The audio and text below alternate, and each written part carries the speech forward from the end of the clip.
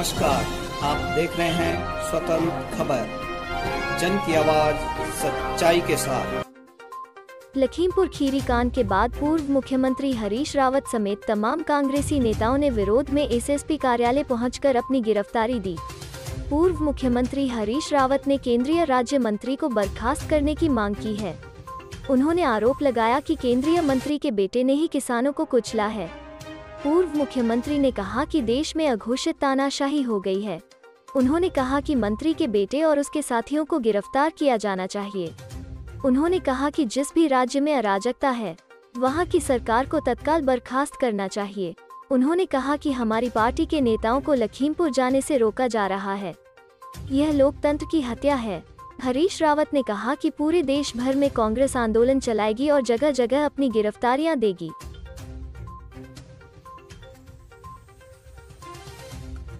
केंद्रीय गृह राज्य मंत्री के बेटे ने जिस तरीके से लोकतांत्रिक अधिकार का उपयोग कर रहे किसानों के ऊपर लखीमपुर में कार चढ़ाई है। गाड़ियाँ चढ़ाई है। उनको कुचला है। मारा है।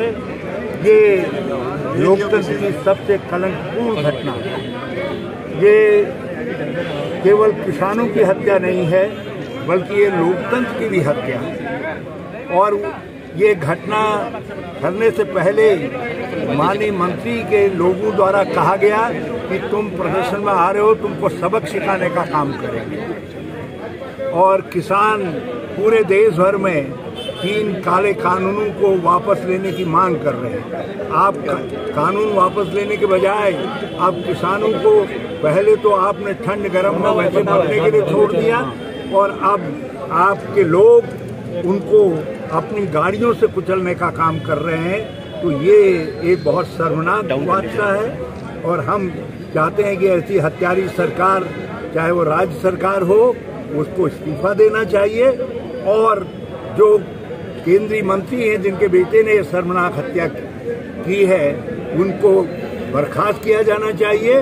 और के जो हत्यारे हैं वह मंत्री जी के बेटे के सहयोगी साथी हैं उन सबको भी गिरफ़्तार किया जाना चाहिए। उनके ऊपर हत्या का प्रियंका गांधी जी को भी गिरफ़्तार जी प्रियंका गांधी जी को गिरफ़्तार किया गया है और हमने तय किया है कि देश भर में कांग्रेस जन जगह जगह आंदोलन करेंगे गिरफ्तारियाँ देंगे।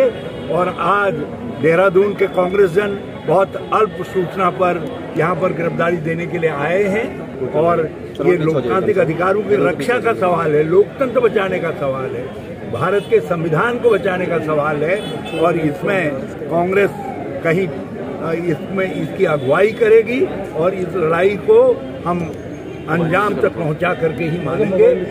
पंजाब के अंदर जगह जगह ज़बरदस्त प्रदर्शन हो रहे हैं। और शाम के अपराह्न में जो है पंजाब का मंत्रिमंडल भी धरने पर बैठ रहा है। मुख्यमंत्री पंजाब के लखीमपुर जाना चाहते थे, श्री बघेल लखीमपुर जाना चाहते थे छत्तीसगढ़ के मुख्यमंत्री। उनके हेलीकॉप्टर को परमिशन नहीं दी गई है। हमारे जो मंत्रीगण लखीमपुर को जा रहे हैं, उनको जगह जगह पर रोका जा रहा है। ये ऐसा लग रहा है कि पूरे देश के अंदर एक अघोषित तानाशाही लागू है तो इसलिए है, हमारे जो मंत्रीगण लखीमपुर को जा रहे हैं, उनको जगह जगह पर रोका जा रहा है। ये ऐसा लग रहा है कि पूरे देश के अंदर एक अघोषित तानाशाही लागू है तो इसलिए ये लोकतंत्र बचाने की लड़ाई है। इस लड़ाई को हम हर मोर्चे पर लड़ने का काम आप भी जाएँगे? जी बिल्कुल जाएँगे लखीमपुर भी सारे देश की मदान ने अपनी गाड़ियों से कुचला है। केंद्रीय मंत्री के बेटे और उनके सहयोगियों ने अपनी को कुचला है मारा है जिससे आक्रोशित है और उस आक्रोश को कांग्रेस जगह जगह ध्वनि दे रही है और हम लोग देश भर में प्रदर्शन करेंगे।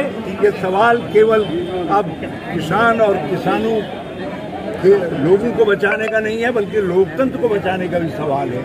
ये किसानों की हत्या नहीं है, लोकतंत्र की हत्या है और संविधान की हत्या है। उसकी रक्षा के लिए कांग्रेस आगे आगे चलेगी। प्रियंका गांधी जी ने गिरफ्तारी दी है। देश भर में किसान किसान भी गिरफ्तारियाँ दे रहे हैं और कांग्रेस जन भी गिरफ्तारियाँ दे रहे हैं। उत्तराखंड में भी जगह जगह हम गिरफ्तारियाँ दे रहे हैं। पंजाब में बड़ी पैमाने पर गिरफ्तारियाँ हो रही हैं। और दे रहे हैं लोग उसी तरीके से देश के दूसरे हिस्सों में भी बड़े पैमाने पर को गिरफ्तारियाँ तितर की। नेताओं को जाने नहीं दिया जा रहा। हमारी कुछ सीधी मांग है। एक तो प्रधानमंत्री का पुतला काले कानून कांग्रेसियों राष्ट्रीय स्तरों की सरकार की मांग उठाई। दूसरा जिस राज्य के अंदर अराजकता है। उस सरकार को बर्खास्त किया जाए जिस केंद्रीय मंत्री के मौके ने पर कांग्रेस के लोगों को कुचल करके मारा है उन केंद्रीय मंत्री को बर्खास्त किया जाए प्रताप और जो है जितने जो इस विभत्स कांड में लिप्त हैं और जिन्होंने ये कुचल करके मारने का षड्यंत्र रचा है षड्यंत्रकारी हों या कुचलने वाले लोग हों उन सबको जो है हत्या के मुकदमों में बंद किया नेताओं को जाने नहीं दिया जा रहा है वहाँ पर रोक दिया जा रहा है। अपने क्षेत्र की खबर के लिए चैनल को सब्सक्राइब करें। बेल आइकन दबाएँ। सबसे पहले खबर को पाने के लिए